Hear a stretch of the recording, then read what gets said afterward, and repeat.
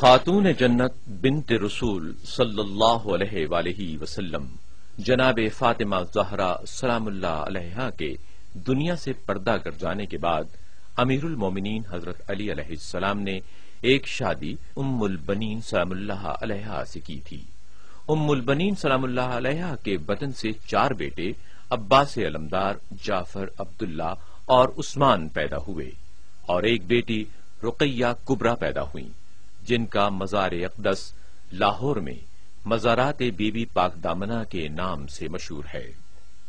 बीबी पाक दामना के मजारात लाहौर की तारीखी इमारतों और मकबरों में कदीम तरीन हैसियत के हामिल हैं। यहाँ अमीरुल मोमिनीन हज़रत अली की साहबजादी और हज़रत अब्बास अलमदार की बहन, जनाब रुकैया अलैहा, जौजा हज़रत मुस्लिम बिन नकील का रोजा अकदस है। इन मासूमा के साथ हज़रत अकील इब्न अबी तालिब अलैहिस्सलाम की पाँच बेटियाँ भी यहीं मदफून हैं। दीगर मजारात के बारे में बताया जाता है कि वो इन पाक दामन बीबियों के चार मुहाफिज और एक कनीज माई तनूरी के मजार हैं। ये भी कहा जाता है कि इन मजारों का कदीम तरीन मुजावर अब्दुल्ला उर्फ़ बाबा खाकी था। उसकी कब्र भी वहीं है। बाकी कब्रों का इजाफा बाद में बसबब अकीदत अवाम होता गया और नौबत यहाँ तक पहुँची कि ये जगह कब्रस्तान बीबी साहब कहलाने लगी।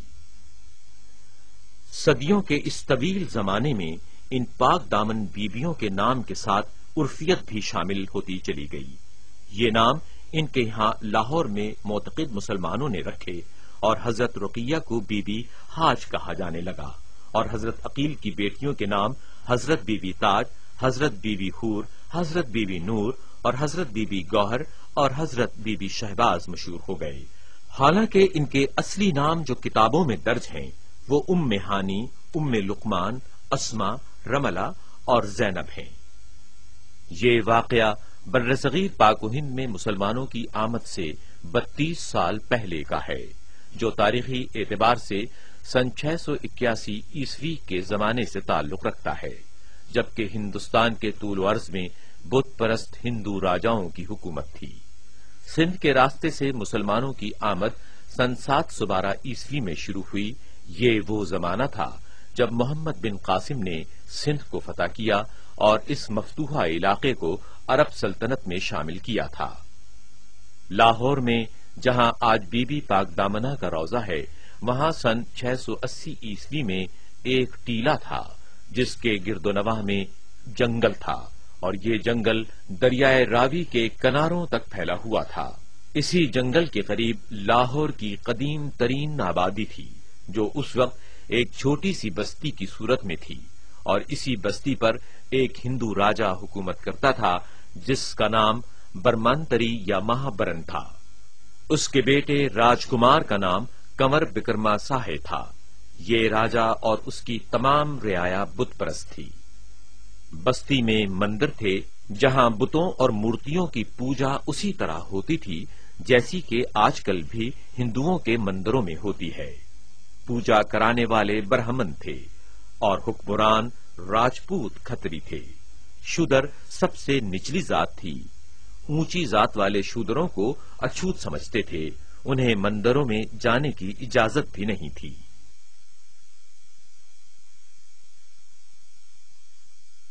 एक दिन अचानक मंदिरों में रखी हुई तमाम मूर्तियाँ और बुत अपनी जगह से गिर पड़े। हालाँकि ये बुत पत्थर के बने हुए चबूतरों पर मुद्दतों से नस्ब चले आ रहे थे और इनको हिलाने या खुद इनमें मुतहरिक हो जाने का कोई इम्कान नहीं था। इसी के साथ बाज मंदिरों में जलाई जाने वाली आग जो हमेशा रोशन रखी जाती थी, वो आग भी खुद ब खुद बुझ गई।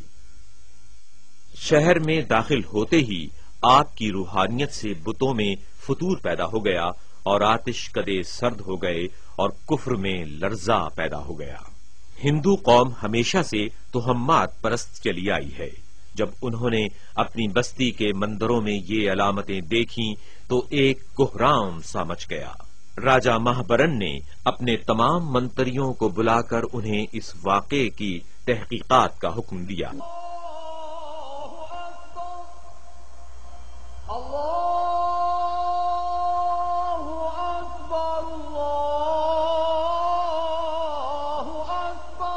राजा ने अपने बेटे राजकुमार कंवर बिकरमा साहे को भेजा और हुक्म दिया कि परदेशियों को गिरफ़्तार करके दरबार में पेश करे। राजा के सिपाही उन्हें पकड़ने गए तो उन्होंने देखा कि चंद औरतें हैं जो चादरों से मुँह छुपाए हैं। बीबियों में से एक बीबी ने जो बाकी सब बीबियों की सरदार मालूम होती थीं, उन्होंने बिकरमा साहे से उसी की जबान में गुफ्तगु की और ये बताया हम लोग खुदा के बंदे हैं। खुदा के रसूल सल्लल्लाहु वसल्लम की आल पाक से हमारा ताल्लुक है। करबला में रसूल बरहक का नवासा शहीद किया गया और रसूल बरहक की आल पाक को कैद किया गया। हम लोग अपने वतन मदीने में भी नहीं रह सके और बेवतन होकर हिजरत करके यहाँ पहुँचे हैं। हम किसी को सताने के लिए नहीं आए, बल्कि पनाह लेने आए हैं। हमें यहीं पड़ा रहने दो, और अगर तुम्हें ये मंजूर न हो तो हम कहीं और चले जाएँगे। बीबी साहिबा को अपनी जबान में बात करते सुनकर राजकुमार बहुत हैरान हुआ, और उनकी गुफ्तगु का भी उस पर बहुत असर हुआ। राजकुमार फितरी तौर पर हली मुतबा था, और उस पर इन अल्फाज ने पूरा पूरा असर किया। उसने मजीद इस्तफसार हाल किया तो पता चला कि बड़ी बीबी का नाम हज़रत रुकैया बिन अली है। और उनके साथ अकील इब्ने अबी तालिब की पाँच बेटियाँ हैं, जो बड़ी बीबी की नंदे, यानी उनके शौहर की बहनें हैं। उनके साथ एक और बीबी जो है, वो उनकी कनीज हलीमा है, जो तनूर में उनके लिए रोटियाँ लगाती है। राजकुमार अपने बाप के हुक्म से मजबूर था, चुनाचे उसने कहा कि वो राजा के दरबार में उन्हें ले जाने के लिए आया है, और लिए जाए बगैर वापस नहीं जाएगा। अगर परदेसी लोग राज़ी खुशी नहीं चलेंगे तो ज़बरदस्ती गिरफ़्तार करके ले जाया जाएगा। जब बड़ी बीबी साहिबा ने फिर वही हुक्म सुना तो गजब का समंदर जोश में आ गया। शिदवत अली नुमाया हो गई और हैबत अब्बास अलमदार ने राजकुमार पर लर्जा तारी कर दिया।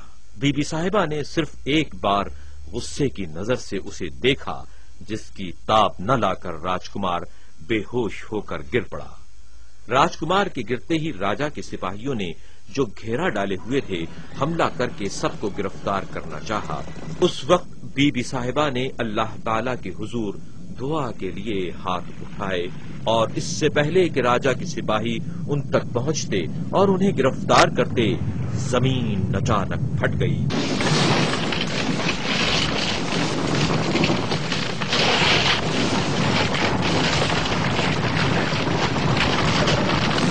और वो पाक दामन बीबियाँ और उनके मुहाफिज खुदाम सब ज़मीन में समा गए। वो ज़मीन में समा गईं, मगर उनकी चादरों के कोने बाहर रह गए। ये देखकर राजा के आदमी हैरान हो गए और खौफजदा होकर पीछे हट गए और राजकुमार जो बेहोश था, उसे होश में लाए। राजकुमार ने ये करामात देखी तो उसने अपने बाप के पास वापस जाने की बजाय की बजाय वहीं उन परदेसी बीबियों के ज़मीन में समा जाने की जगह मुजावरी खरीद और उसने अपना आबाई दीन, यानी बुत परस्ती छोड़कर इस्लाम कबूल कर लिया। राजा महाबरन ने अपने बेटे को बहुत समझाया, लेकिन राजकुमार वहाँ से नहीं गया। राजा ने मोहब्बत पिदरी से मजबूर होकर फिर उसे तंग नहीं किया और उसके गुजारे के लिए चार मुरब्बे ज़मीन दे दी। राजकुमार बिकरमा हाय इस वीरान जगह पर बैठा रहता और इस मकाम पर झाड़ू देता और खुदा की इबादत किया करता था। पाक बीबियों के दुपट्टों के पल्लू बाहर नज़र आते थे। चंद दिन वो पल्लू नज़र आते रहे, फिर वो भी गायब हो गए। उसने बीबियों की कब्रों के निशानात बनाए। जब कंवर मुसलमान हो गया तो बीबी साहिबान ने उसका नाम अब्दुल्ला रखा। बाज रिवायात में मोहम्मद जमाल भी है। बाद में वो अब्दुल्ला बाबा खाकी के नाम से मारूफ हो गया। उनकी औलाद अब तक मुजावर खानका आलीजा है और राजपूत कहलाते हैं। कहा जाता है कि बड़ी बीबी साहिबा उससे गुफ्तगु किया करती थीं और ज़मीन में से बाबा खाकी को उनकी आवाज़ आ जाती थी और जो बात वो पूछता था, उसका भी जवाब मिल जाता था। बाबा खाकी का इंतकाल 101 हिजरी में हुआ और उनका मकबरा खानकाह की ड्योढ़ी के अंदर है। ज़मीन के शक हो जाने के 400 साल बाद तक राजा हाय हनूद मालिकुल मुल्क रहे और इन अयाम में इन राजों का दारुल हुकूमत शहर मनोहरपुर इलाका दिल्ली था। बर सगीर में हिंदुओं के बाद मुसलमानों की हुकूमत कायम हुई। बादशाहतें बदलती रहीं। लेकिन हर एक दौर में बीबी पाकदामना के रोजा मुबारक में जियारत करने वालों का सिलसिला जारी रहा। और मुसलमानों को जो खानवादा सादात से अकीदत थी, वो रोज अफसू रही। सुल्तान महमूद गजनबी ने हिंदुस्तान पर हमला सन 410 हिजरी में किया और फतह पाई। लाहौर में दाखिल होने पर सुल्तान महमूद गजनबी को जब मालूम हुआ कि यहाँ हज़रत अली सलाम की साहबजादी का मजार है तो उसने इन मजारात पर हवेलियाँ और अंदरूनी बरामदे तामीर कराए और एक ऊँचा चबूतरा बनवाकर एक चौखट्ठा मजार अकदस के इर्द गिर्द तामीर कराया। बरामदा और तमाम इमारत इस बात की गवाह है कि ये सब तामीर अफगानी तर्ज की है। गजनबी तर्ज की ये इमारत अकबर बादशाह के जमाने तक बरकरार रही, लेकिन बवजह कोहनगी अहद अकबरी में दोबारा तामीर अमल में लाई गई। और खानका की इमारत में तोसी भी की गई। कहा जाता है कि अकबर आज़म ने चार चाहत मजरुआ ज़मीन इस खानका के लिए वक्फ कर दी थी, और इससे पहले भी सबक हुक्मरानों ने जमीनें वक्फ की थीं। अकबर आज़म के जमाने ही से ये खानका कब्रस्तान करार दी गई और इसकी हदूद मुकर्र की गई। इसके बाद 1960 ईस्वी में सैयदा फाखरा बेगम, जौजा सैयद इमाम अली शाह साहब वल्द सैयद दुर मोहम्मद शाह साहब, रईस आज़म, कतालपुर जिला मुल्तान ने दरबार पाक के दरवाजे से बाज़ार तक फर्श बनवाया। पुख्ता सड़क बनवाई और मजार की खिदमत में मसरूफ रहे। तकरीबन उन्नीस सौ बासठ ईस्वी में हकीम खादिम असलम साहब ने बड़े सबका मजार अकदस को शहीद करके चीनी की ईंटों का मजार तामीर कराया। इसके बाद 1970 ईस्वी में शेख अब्दुल मजीद साहब अज टेंपल रोड लाहौर ने ईंटें उतरवा कर संगे मरमर का मौजूदा रोजा अकदस आलीशान तामीर कराया। गुंबद सब्ज और अंदर शीशे का बेहतरीन काम कराया और शीशे से बारह इमाम हक औलाद अली के नाम भी लिखवाए। इसके बाद सन 1974 में सबक वज़ीर आला पंजाब सादिक हुसैन कुरैशी साहब की बेगम ने मुसाफिरों के लिए मुसाफिर खाना और गुजल खाने का खातिर खा इंतज़ाम किया। ये मस्जिद बाबा खाकी ने पहली सदी हिजरी में तामीर कराई थी। इस मस्जिद का तस्करा तहकीकत चिश्तिया में भी पाया जाता है कि यही पहली मस्जिद है, क्योंकि पहली सदी हिजरी में न कोई और बुज़ुर्ग मुसलमान लाहौर तशरीफ़ लाया था और न ही किसी ने तबलीग दीन करके किसी हिंदू राजा को मुसलमान किया था। इस वास्ते से ये मस्जिद लाहौर की पहली मस्जिद है। लाहौर की सरजमीन का वो टुकड़ा जो बीबी पाक दामना के नाम से मंसूब है इस पर जो दरख्त साया फगन है उनकी पत्तियों में कुदरत खुदा ने बीमारियों के लिए शिफा का सामान मौजूद किया है। वो पत्तियाँ जो दरख्तों से टूटकर अहाता बीबी पाक दामना में जमा हो जाया करती थीं, उन्हें जायरीन बतौर तबर्रुक अक्सीर समझकर ले जाया करते थे। और बीमारों को दवा के तौर पर खिला देते थे। कहा जाता है कि सैकड़ों लाइलाज मरीजों को इससे शिफा हासिल हुई। अगर खुलूस दिल के साथ कोई साइल यहाँ आकर सवाल करता है तो बारगाह आली से खाली नहीं जाता। यही सबब है कि दिन रात खसूसन जुमेरात को यहाँ जायरीन का हुजूम होता है। हर एक अपनी ज़ुबान में अपनी तमन्ना बयान करता है और अपनी मुराद को पहुँचता है। आले रसूल का ये दरबार एक बहुत बड़ा दरबार है। यहाँ रूहानियत को कमाल हासिल होता है, जहाँ से बड़े बड़े बुजुर्गान तसवुफ हज़रत दाता गंजबख्श रहमत हाजिर होकर फैज रूहानी हासिल करते रहे हैं। गंज बख्श फैज आलम मजहरे नूरे खुदा ना कसा रा पीर कामिल, कामिला रा रहनुमा। हज़रत दाता गंजबख्श अली हिजबहरी रहमतुल्लाह अलैह, चार सौ पैंसठ हिजरी तक बीबी पाकदामना के दरबार में रूहानी फैज हासिल करने के लिए हर जुमेरात को तशरीफ़ लाते। इस कदर एहतराम करते कि मजारात पाक के सामने अदब से बैठ जाते और फैज हासिल करते। हज़रत दाता गंजबख्श अलैह ने इस वजीफे को चार सौ पैंसठ हिजरी तक आखिर दम तक कायम रखा। वो मकाम के जहाँ दाता साहब चिल्ला कशी करते थे, अब भी मौजूद है। बासठ हिजरी से लेकर ताकयाम पाकिस्तान, ये मजार बीबी पाक दामन तस्लीम किया जाता रहा। लेकिन अचानक कुछ लोगों ने एक मन घड़त कहानी बनाकर अवाम को शुकूक शुबाहत में मुबतला करने के लिए और इस दरबार मुकदस के मुतवली बनने की खातिर इन्हें सैयद अहमद शाह तोख्ता की दुख्तरान साबित करने की कोशिशें की। इन्हीं लोगों ने तारीख में सैयद अहमद शाह तोख्ता की दो साहबजादियों के नाम बीबी हाज और बीबी ताज भी पढ़ लिए थे। लिहाजा उन्होंने कोशिश की कि दरबार बीबी पाक दामना को दुख्तरान सैयद अहमद शाह तोख्ता साबित करके दरबार पर कब्जा कर लें और सज्जादा नशीन मुकर्र हो जाएँ।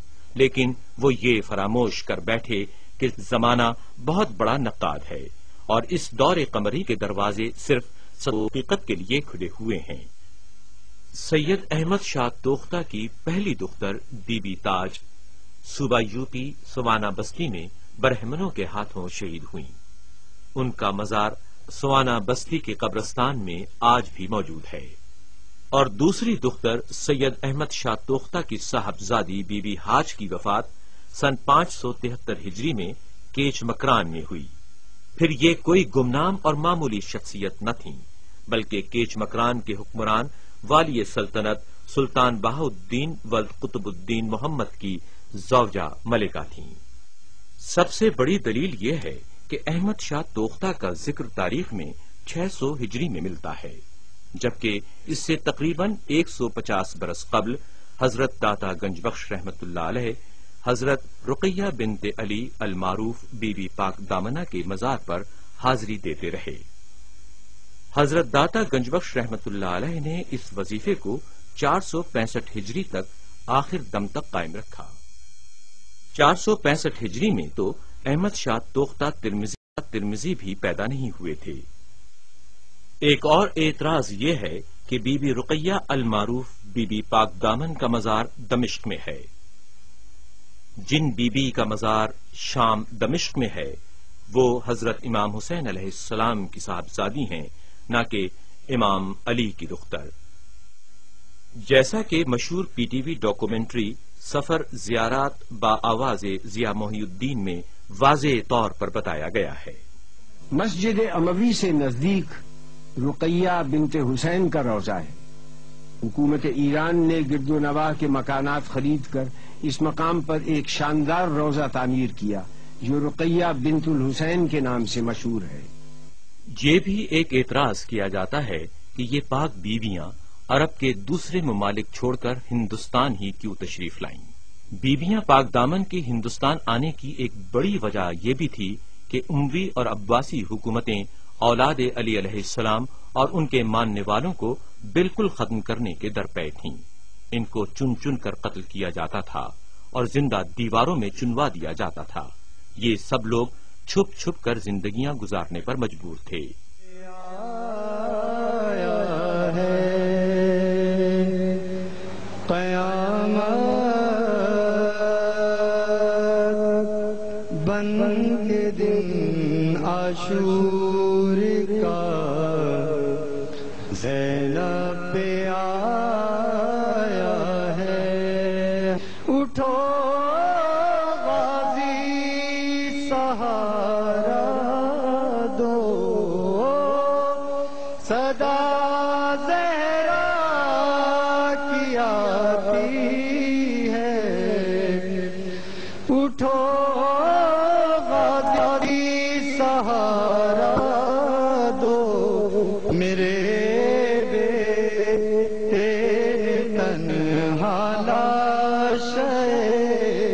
अकबर उठाया है हज़ारों कातिलों के जहरा का जाया है इन हालात में औलाद अली के लिए यजीदी हुकूमतों के इलाकों में जाने से बेहतर ये था कि वो हिंदुस्तान चली जाएँ। जैसा कि इमाम अली मकाम ने उन्हें हुक्म दिया था। और ऐसा नहीं है कि उस वक्त अरब से हिंदुस्तान सफ़र का कोई रास्ता न था। अरब से मुताद तजारती काफले हिंदुस्तान आते जाते रहते थे। जैसा कि रॉबर्ट गार्डनर की मशहूर documentary Islam and empire of faith में दिखाया गया है। Muhammad's world was a center of trade, connecting the Mediterranean Sea to the Indian Ocean, linking the aging empires of Byzantium and Persia to the great bazaars of India and China. The Kaaba made Mecca a vibrant center for trade. Here were found Arabian incense, exotic perfumes and Indian spices, Chinese silks and Egyptian linens. अब मानना पड़ता है कि ये बीबियां हज़रत अली और उनके भाई हज़रत अकील की साहबजादियाँ हैं। दीगर कुतुब तारीख में दर्ज है कि बीबी पाक दामना सलामुल्लाह के हमरा 704 असहाब लाहौर आए थे। मगर पेशतर दुआ तलब करके ज़िंदा ज़मीन में समा जाने के बीबी पाक साहिबा ने अक्सर असहाब को रुखसत दे दी। अहद हाजिर में अल्लाह तबारक के फजल करम से ने पंजतन पाक की इस दरबार पर बड़ी यामदरफ्त है। मुहिबान हुसैन और जायरीन पाकिस्तान के दूर दराज इलाकों से हाजिर होकर शरफ जियारत हासिल करते हैं।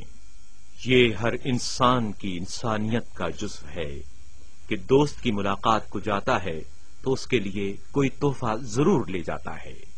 जब एक जायर अपने महबूब आका के मजार अकदस की जियारत को जाता है तो फातिहा पढ़ता है, कुरान शरीफ की तिलावत करता है अकीदतन मजार पर चादर चढ़ाता है, दिया जलाकर रोशनी का अहतमाम करता है। मजार पर आए जायरीन और फकरा व मसाकिन में न्याज और तमाम तकसीम करता है और इस तरह मजार की खिदमत करके दिली खुशी और रूहानी फैज हासिल करता है। ये एक कुदरती अमर है और इंसान की फितरत सानिया में शामिल है। जो जायरीन मजार का बोसा लेते हैं और सजदा करते हैं वो बंदगी की नीयत से नहीं, बल्कि बुज़ुर्ग हस्तियों के सामने अपने इज्ज का एतराफ करने और उनकी ताजीम व तकरीम से होता है। जिल्लत व खारी से इंसान का झुकना, ज़मीन पर गिरना और खाक पर मुँह रखना शिरक नहीं, क्योंकि सजदे का ताल्लुक नीयत से है और नीयत एक कलबी चीज़ है और दिलों का हाल जानने वाला सिर्फ़ अल्लाह है। चुनाचे बिरादर यूसुफ ने हज़रत यूसुफ अलैहिस्सलाम को इसी तरह का सजदा किया और दो पैगंबरों, हज़रत याकूब अलैहिस्सलाम और हज़रत यूसुफ अलैहिस्सलाम ने मौजूद होते हुए भी उन्हें मना नहीं किया, जैसा कि सूरह यूसुफ में इरशाद रब्बानी है। उन्होंने अपने बाप को तख्त पर बिठाया और वो लोग यूसुफ के सामने सजदे में गिर पड़े। तब उन्होंने कहा ए बाबा, ये मेरे उस ख्वाब की ताबीर है, जो मैं पहले देख चुका हूँ। वाकई खुदा ने इसको सच कर दिखाया। मजार बीबी पाक दामन कोई मामूली मकाम नहीं। ये खानदान रिसालत के अफराद की तुरबत पाक है और मुआजा नुमा मकाम है। जितने भी बुज़ुर्ग, वली, गौस, कुतुब, अब्दाल, सूफी और बाकमाल लोग गुजरे हैं, सब इसी दरे अहले बैत की बदौलत हुए। इसी की मदाह सना में झूमा किए, चुनाचे अमीरुल मोमिनीन हज़रत अली सलाम नहजुल बलागा में एक खुतबे में इर्शाद फरमाते हैं। अब मौका है, जो चाहो मुझसे पूछ लो, पेशतर इससे कि मुझे न पाओ। उस जात की कसम जिसके कब्जे कुदरत में मेरी जान है, तुम इस वक्त से लेकर कयामत तक के दरमियानी अरसे की जो बात मुझसे पूछोगे, मैं बताऊँगा, और किसी ऐसे ग्रोह के मुतालिक दरियाफ्त करोगे कि जिसने सूह को हिदायत की हो और सूह को गुमराह किया हो तो मैं उसके ललकारने वाले और उसे आगे से खींचने वाले और पीछे से धकेलने वाले और उसकी सवारियों की मंजिल और उसके साजो सामान से लदे हुए पालानों के उतरने की जगह तक बता दूँगा। होती है इस कदम ऐसी धूम गर्दिश में जिस तरह से फलक पल